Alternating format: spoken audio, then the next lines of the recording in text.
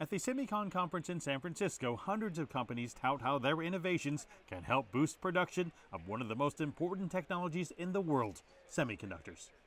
And at the show, you'll find all the latest equipment that's helping to support the industry, like this digital microscope from Keyence, which can examine components in extreme detail.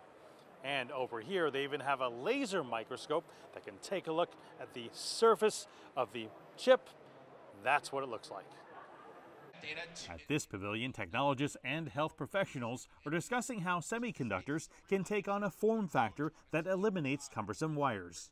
So I believe that the future of healthcare involves the engineering of soft, flexible devices that recapitulate the same ICU grade vitals in a remote and accurate manner for clinical decision making purposes. ST Microelectronics and DuPont are working on a potential solution. They've created a cardiac patch that's waterproof and wearable for up to two weeks. That would allow a doctor to monitor patients remotely for extended periods of time.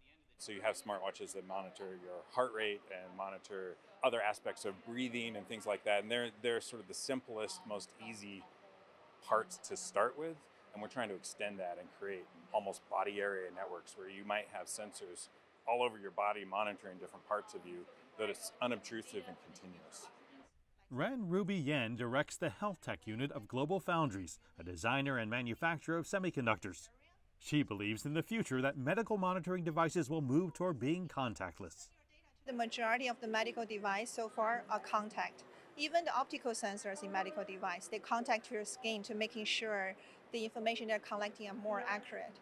However, if we want to enable it for even the majority of the populations, people need to be easy to use. That is one of the key factors. It has to be affordable, easy to use, and easy to access. The solution she's proposing and working on is radar. We're getting closer and closer. For example, the vital signs monitor for radars is already being used in automotive.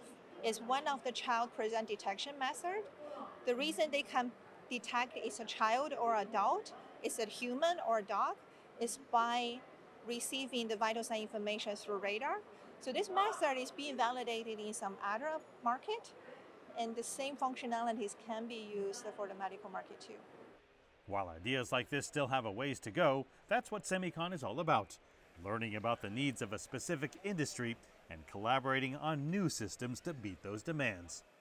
Mark Niu, CGTN, San Francisco.